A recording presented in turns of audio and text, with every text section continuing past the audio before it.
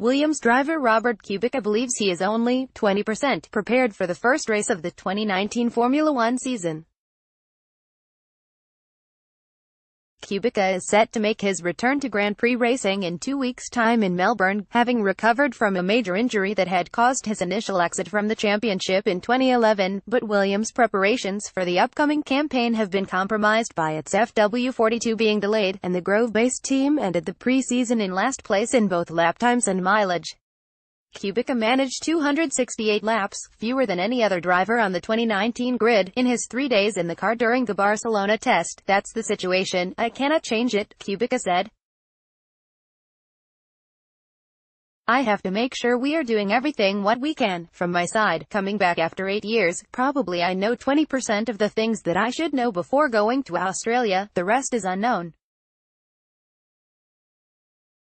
I haven't done longer than 15 laps long run, there is a lot of question marks.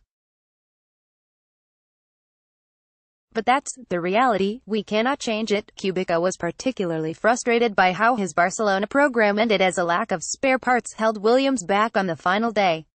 This came as a disappointment after he'd been boosted by a strong stint on Wednesday, which he described as one of my best runs in a Williams car. My last real run when I feel the car well was Wednesday afternoon, first run, when the car did things which I was surprised by. A really nice surprise, so I get up really a lot of confidence, but since then my confidence disappear, because the car was not in the right state. Asked to name a realistic target for the Australian Grand Prix, he quipped, first of all we have to make sure the car stays in one piece, because the reality is, my test ended after the first run in the afternoon, on Wednesday, the rest, I have to forget how I drove and what I felt. Teammate George Russell reckoned the FW42 had made a big step since debuting in Barcelona, but Kubica was not certain about the gains. There were some positive things, but it's difficult to say it moved forward when actually you are staying in the garage, or you are running the car which is not in configuration it